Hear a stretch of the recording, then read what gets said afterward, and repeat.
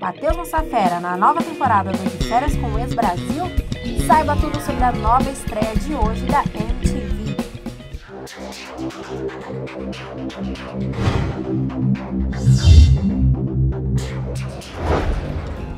Estreia hoje às 10 da noite na MTV e na Amazon Prime a nova temporada do De Férias com o Ex-Brasil. Essa temporada promete ser bem quente e polêmica, por trazer não só os casos, tretas e momentos calientes que já vimos nas temporadas anteriores, mas também por trazer militância, tolerância e trazer também a discussão de assuntos como sexualidade fluida, ou seja, quando pessoas transitam pelos diversos aspectos do interesse sexual, como homo e hétero. Pela primeira vez teremos a participação de um homem gay, o Rafa, que já no primeiro episódio vai beijar uma mulher.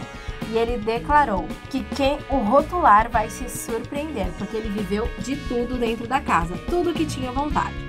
Os 10 participantes são, além de Rafa e Maiara, que é quem ele beija, Bárbara Moraes, Caio Cabral, Flávia Caroline, Igor Adamovic, Jéssica Marisol, João Matheus Crivella, Mina Winkel. O comando do programa ficará na mão de Matheus Massafera e também o programa terá novas dinâmicas, espaços exclusivos para que os participantes possam passar as tretas a limpo, além de participarem de diversas votações, como o crush do momento, escolhendo a pessoa mais quente da casa. Na parte musical estão confirmadas participações de MC Rebecca, Kevin O'Chris. A direção do programa espera uma temporada de grande sucesso e repercussão, até mesmo pelo período de isolamento que estamos vivendo, em que as pessoas estão vendo mais TV.